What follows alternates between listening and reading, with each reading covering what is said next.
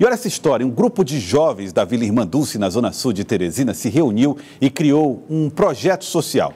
A intenção do projeto é manter os bairros limpos e conscientizar os moradores a não sujarem as ruas. Acompanhe na reportagem de Débora Radassi.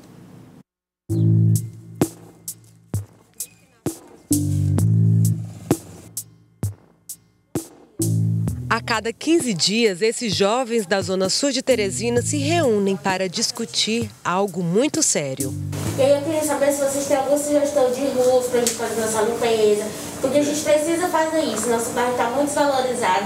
A sugestão é para definir quais ruas farão parte do projeto Mude os Hábitos, Mude o Mundo. Uma ideia corajosa que é parte de uma menina de 16 anos. Eu comecei sozinha e eu percebi que eu, eu não levaria tudo sozinho. Eu conseguiria fazer, mas não sairia perfeito do jeito que está hoje.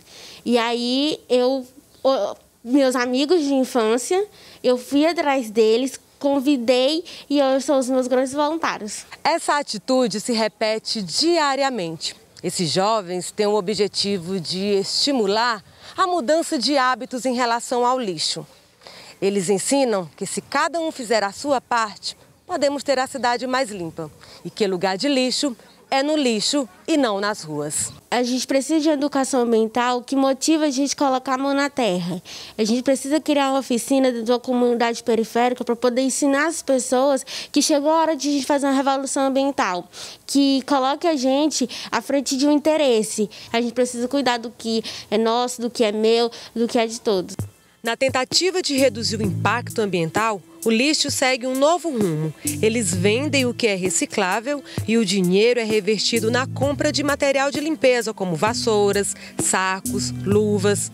Paulo Henrique segue firme nessa jornada e acredita na mudança das pessoas. Quando a gente passava, eles ficavam olhando para a gente e via que aquilo era a obrigação deles. Alguns eles tinham opiniões contrárias, não queriam limpar as ruas, mas outros viam sim a maioria e diziam: Nossa, esse é meu trabalho, eu que tinha que fazer isso. E eu acho que se continuar assim, a gente tiver mais edições, e com certeza nós vamos conseguir isso, nós vamos muito mais para frente. E a Palitolândia vai ser uma, um bairro muito limpo. A batalha contra a sujeira nas ruas tem o apoio de uma supermãe que enche o peito de orgulho. Acompanho eles no projeto, sim, e eu acho muito importante. Nesse trabalho deles aí, eles se divertem, eles brincam, eles brigam, e aí isso é muito bom, foi muito bom para eles. Sinto muito orgulhosa, fico muito orgulhosa por isso. Se o Pedro, com apenas oito anos, entende a importância da limpeza, por que nós não aprendemos a gostar também? Eu gosto de é, catar os lixos, é, pegar a garrafa PET e botar nos sacos.